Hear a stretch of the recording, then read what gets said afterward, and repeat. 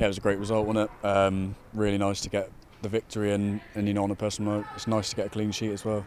Yeah, on that personal note, to get a clean sheet on your debut, it's, it's a dream start for you, isn't it? Yeah, you know, it's what every defender wants, um, as well as obviously to get the win. But I thought we were really solid today, um, and we looked a threat every time we went forward. How did you find that, that partnership at the back with Hutch and, and with Harlee Dean and obviously Bailey in behind you as well? Yeah, you know, there's a lot of experience in that back line. Um, you know, they're great talkers of the game, and you can sort of pick up things from their game. But I thought, you know, in a whole, we defended really well. We defended our box well, and, and in general, we looked solid. What's that like to sort of come into a team when, especially with you and Harlee and the defence as a whole, not played together before? What's that like to come into that?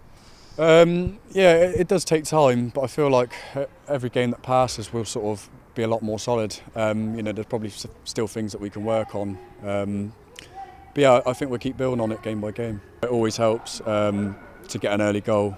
Um, I think it's massive, really. Um, um, yeah, so it does settle the nerves quite a bit.